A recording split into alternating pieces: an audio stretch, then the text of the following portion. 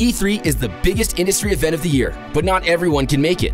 We're about to change that. This year, get exclusive access to the show right from your PlayStation 4. First, download the E3 2014 app to your PS4 system and be ready to log on June 9th for our live E3 press conference, where we'll unveil some of our coolest secrets.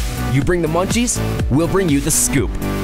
Then, on June 10th, we'll open our virtual doors to unlock prizes like Sony Rewards points, a trial membership to Amazon Prime Instant Video, as well as PlayStation 4 beta access to PlayStation Now, the brand new streaming game service.